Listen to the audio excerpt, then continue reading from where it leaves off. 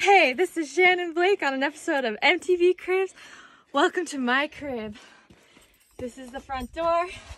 It's a little treacherous, but uh, once you're in, it's really, really nice.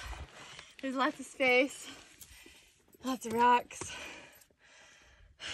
You've got a really nice backyard. Oh yeah, thanks.